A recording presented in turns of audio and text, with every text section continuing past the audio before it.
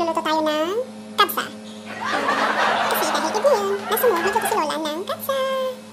Ayan, ready na ang ating ingredients. Meron tayong um, basal, onion, at wala lang, gusto ko lang ng ano, isang piraso um, garlic, kamatis, ayan, si lemon, oh, yan. Yan ang ingredients natin ngayon. Hindi tayo kompleto pero susubukan natin maging lasa talaga siya ni kapsa. Ayan.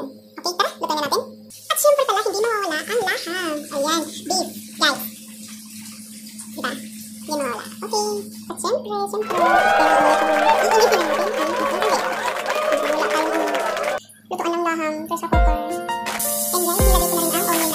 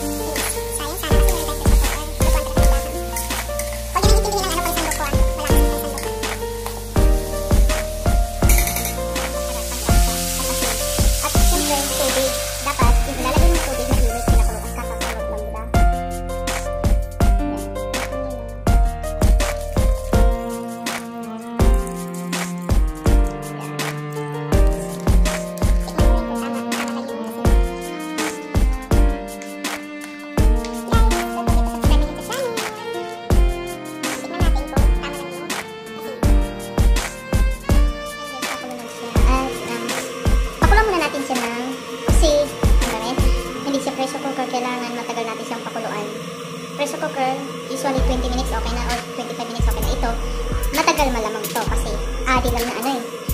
Kaldero yung ginamit natin. Siguro, mga 40 minutes. ganun. guys, at ready na ang ating kapsa. Oh, di ba? Mm. Tara guys, kain na tayo.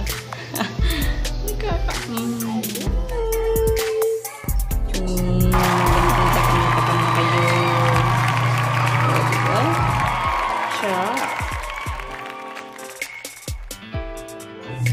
带哟。